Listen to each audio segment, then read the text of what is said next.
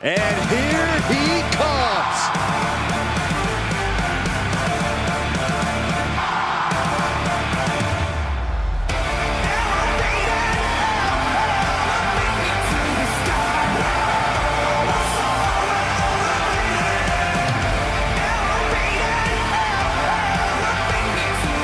The following contest is scheduled for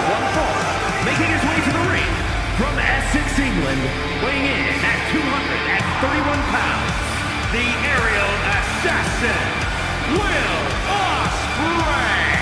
We're looking at some of the most intense competitors in all of WWE about to take part in one of the most anticipated matches ever.